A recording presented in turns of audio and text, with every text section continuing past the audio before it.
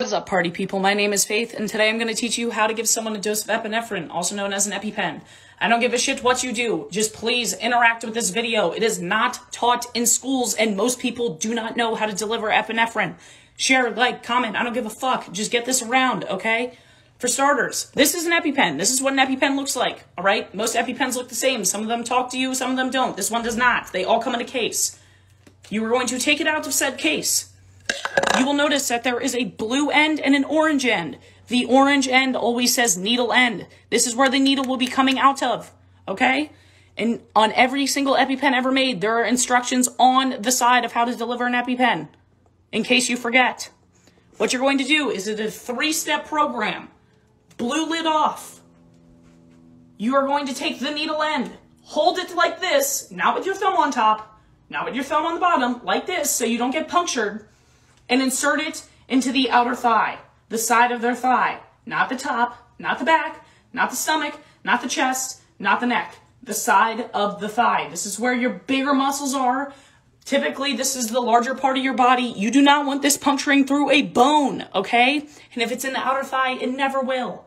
The needle is typically about this big. And for people with needle phobias, you will not see the needle ever coming in or out of this, okay?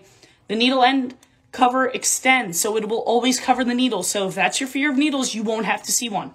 Once you insert it into the outer thigh, you're going to hold for 10 seconds.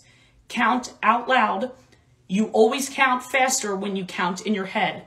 So one Mississippi, two Mississippi, all the way up to 10 to make sure they get the full adult dose. Most EpiPens now, you only need to hold it for three seconds. But older EpiPens, you need to hold it for 10 seconds. So I just say hold it for 10 seconds on all EpiPens. All right? Once you're done delivering the dose, keep the EpiPen. Do not throw it away. Once medical assistance arrives, they need to see how much epinephrine the person was given. Okay? And no matter what, I always tell people this.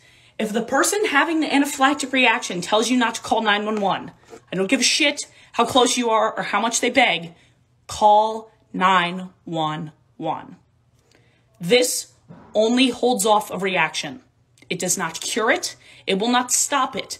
It holds it off long enough so that medical assistance can arrive and work on the person. Okay? Now, epinephrine is pure adrenaline.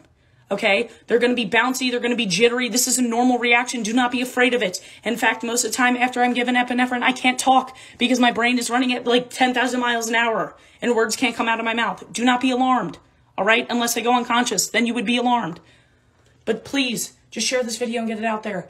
And when in doubt, blue to the sky, orange to the thigh. Okay? That's it.